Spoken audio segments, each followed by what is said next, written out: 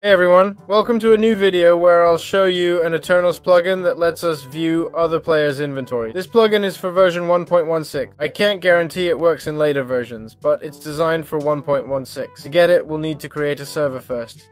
Go to the software section, click change, select Spigot Bukkit, choose 1.16 or 1, 16.1, hit reinstall and confirm. After that, Head to the plugins section and search for player inventory. Click on it and you'll see the plugin. There's only one option and if we check CurseForge, we can see how it works. It shows inventories of players on our server. We have a few permissions and features.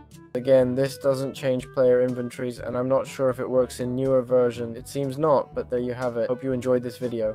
To get it, hit the green button, go to server, and you'll have it. That's all. Hope you liked it, and see you in future videos. Bye bye!